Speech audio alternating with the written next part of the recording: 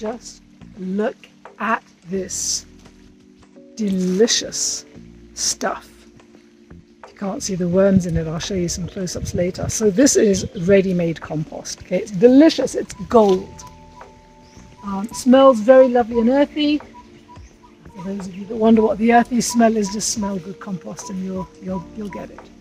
Um, I've kept my compost in smaller cages, protected with shade net as well, keeping it moist about 35 to 40% moisture, covered from the elements with the plastic um, covering or tarpaulin covering with a ring around it to um, stop that from blowing off. The old thoughts around compost were that you needed large volumes for your acreage or, or hectareage of land. I've heard everything between one ton per acre to 15 tons um, in terms of organic matter and bringing back organic matter back into the soil. No matter how large or how small your piece of land is, the reality is to cover it with a layer of compost. If that was the way we were going to use our compost, would require we need immense mountains of raw material, which we don't have. With climate change, um, getting those raw materials is becoming even more um, difficult. So how do we optimize use? We've been producing compost that is of superb quality, compost that is microbial rich, biocomplete, compost that has got a lot of secondary metabolites in there as well as the um, microbes that are in there. And um, in thinking about how we can extend those and optimize those over large pieces of land, we have to think cleverly about using different mediums. Instead of spreading it out as raw material, we're going to use water. Water is um, a very, very good carrier of microbiology, as you know, as long as it's staying aerobic. So I'm going to teach you how to make extracts with your compost, extract the microbes and the secondary metabolites into water, and then adapt and adopt the spraying or the, you know, the irrigation kits that you have so that you can get this biology out into your fields much further over a much wider surface area and onto your plants. I'm going to start with the, the kit that you're going to need just so that you have an idea before you start preparing. Remember, we're trying to keep this process as aerobic as possible. Your water, as long as it has been stored well, is likely to have good levels of oxygen in it until something is in there that uses up that oxygen and the oxygen levels um, are depleted. So if you're going to make compost extract the manual way. The manual way is quite easy. You'll take compost, you'll put it in a bucket, and you'll stir it and you'll mix it up and you'll keep moving that water and that compost in the bucket. And we'll talk about quantities in a while. But you'll keep it aerated like that. You'll keep mixing it for about maybe 10 minutes, after which you'll strain it. And you can strain it using any of these types of strainers, just a normal, so here we call this a chungi, which is like a tea strainer, a big one, a small one. You can use a metal sieve. But you'll strain the compost out. You'll end up with a lot of bits and pieces that are still in there, the bigger parts. When you're straining it into a clean bucket, you'll end up with an extracted liquid with your extracted microbes in it in the other bucket. Hold that thought. Now you will have a compost extract. This is not a compost tea.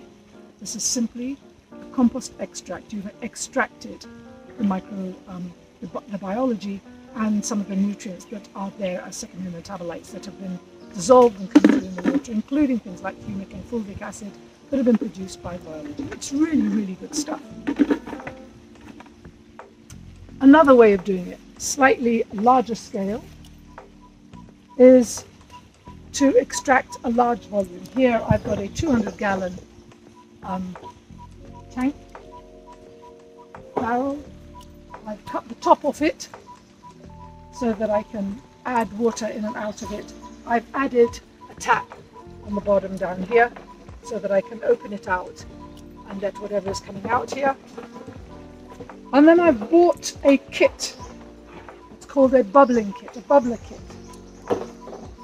It is a, I'll put this here for a minute. It is a pipe that has got holes at the bottom. It's round. It's got holes at the bottom here. It's got a plastic tube to it. it stands inside the bucket. And on the outside, it's connected to an air pump. This air pump is a um, it's an air pump that is used for a fish or a, a you know an aquarium system. It's not that big an air pump.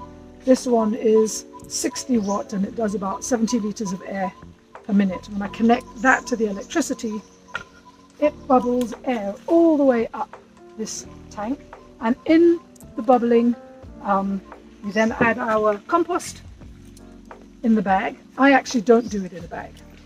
I, I cut corners.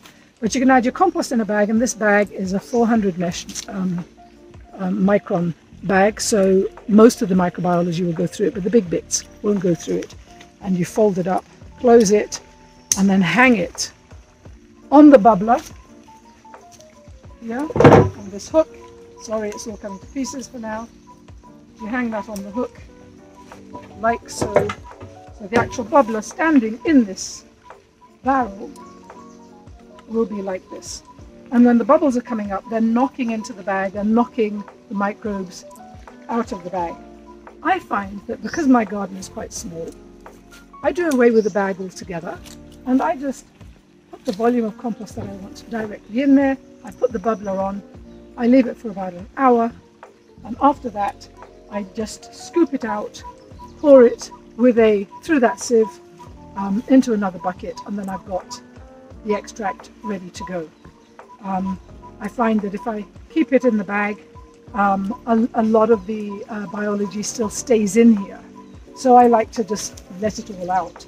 It does mean that I don't use the tap because there are bits and pieces that will get stuck in there and I have to keep leaning over and scooping it out, but um, that's not such a big bother. Now, next very important step is once you have your extract, how are you going to apply it onto your plants or drench it into the into your ground or um, you know put it out in the field? How are you going to actually use it? And there's two ways. You can use a, um, a simple jerry can, like so. Now, because there are little bits and pieces that will be in there, what I've done with my jerry can is I've taken the head off it and I forced all of those little holes. I made them all a little bit bigger than they came manufactured. So when I'm pouring this out of my jerry can, it comes out, quite a lot comes out, but it doesn't get blocked as frequently as it would have, and it did when I kept the, um, the default holes on that. The backpack sprayer is great for getting your um, compost extract onto your field, especially if you're going to be spraying your crops um, and you're putting the, um, the biology and the metabolites onto the leafy surfaces of the plant, onto and under. Uh, it's much more effective than using a jerry can. So a jerry can is really good if you're doing drenching. But they're very, you know, they're fine-tuned to very fine sprays, so they've got a lot of filters and things in them. So what I've done is I hack the system completely.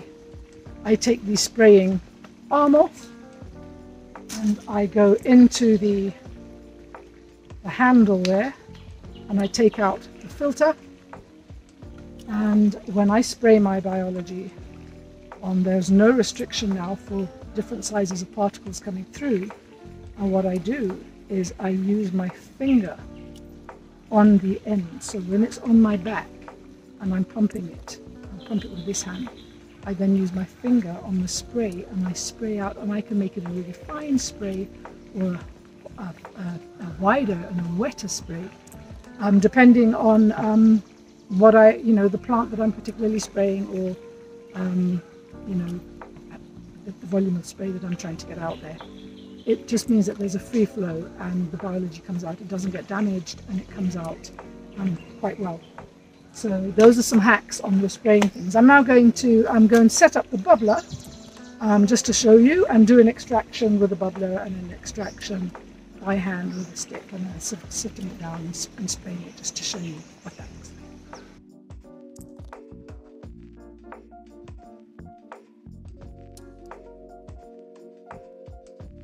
Location is important for security and also because you need electricity. I set up my extraction unit right outside my office door. My extract is 20 kilos of compost to um, one cubic meter of water, so 1,000 litres of water. So in this 100 litres of water, I'll be putting in two kilos of compost. So I'm going to weigh it very meticulously to make sure that I get the right weight. These are my completed composts, waiting ready to be used. And if we dig in there, we'll see they're full of worms and other creatures and critters.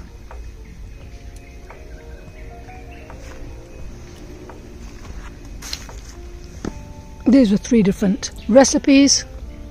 They've all broken down to looking the same, but under the microscope they're actually quite different, especially when it comes to some of the predatory nematodes. The one I'm looking at now has a lot of um, sorry, when it comes to the different nematodes, the one I'm looking at now has a lot of predatory nematodes in it, and the one that um, I was looking at before over here has a lot of fungal feeding nematodes, and this one has a great di diverse. This is an older compost, this is about six months old. The other two I've looked at are just under four months old. Lovely, lovely stuff. So keep those covered, keep them moist and use them in extracts um, and also for sale. Your compost is gold, so try not to waste it. When I say two kilos, I mean two kilos. The bubbler is on, and now I'm going to just pour the compost in there.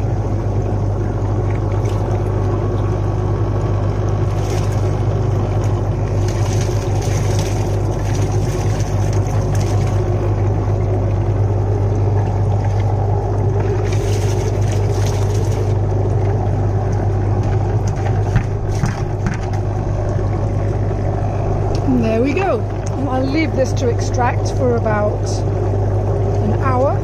It'll all be being mixed up in there.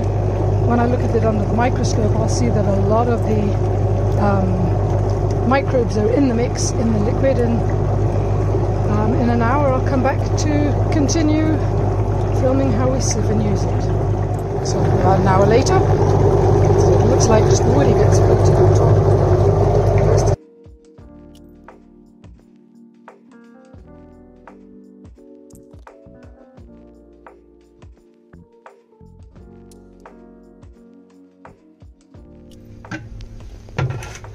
hope I don't drop my phone in there.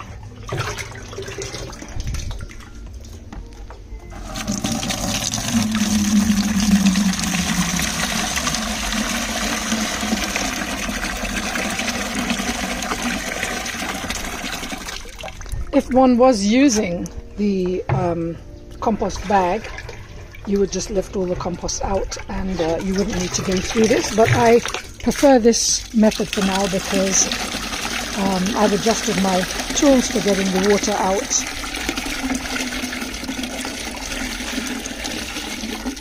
Um, I've adjusted them so that the holes are much bigger. So this works better for me.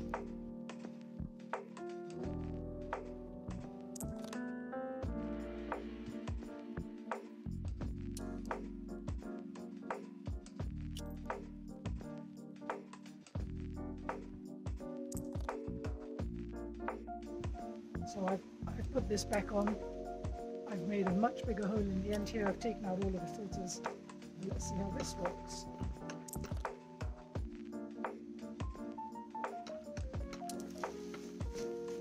And this works.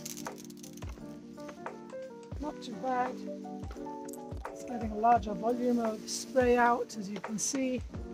Um, and I can get underneath the leaves as well I couldn't get before when I had done my other handle thing. Um, and it's getting quite a good volume out, so I can cover the leaves needless way. You can play around with the size of the.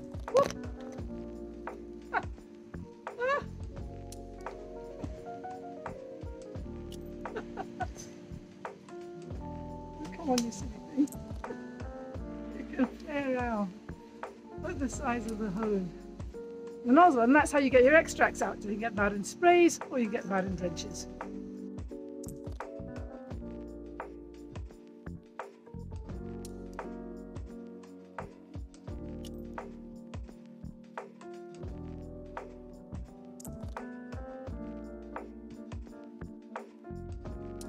So I'm now going to show you how to do a compost extract into 100 litres of water. And instead of pouring it into the 100 litres of water and trying to manually mix it in all of that, what I'm going to do first is I'm going to take about one or two litres of water into this bucket and then I'm going to mix my compost into it and then I'm going to stir it.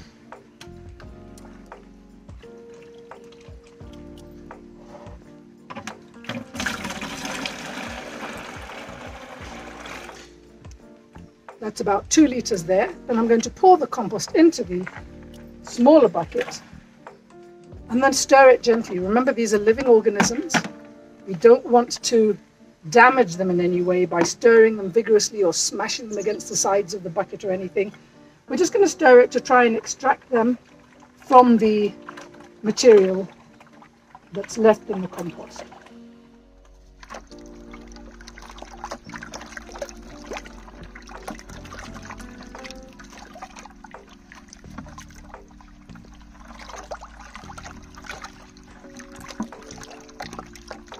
Do this for about 10 to 15 minutes. Just gently.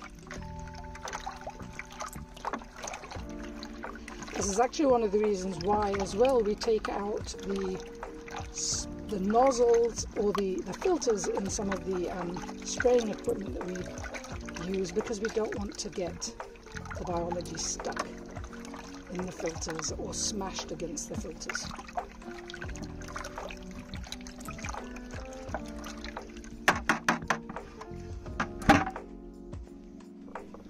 And there we go, now we're mixing the concentrated um, bit of compost that we've poured out of the, the two litre mix into the 100 litres and from there we'll do the straining and then application with either jerry cans or sprayers as you've seen in the rest of the video.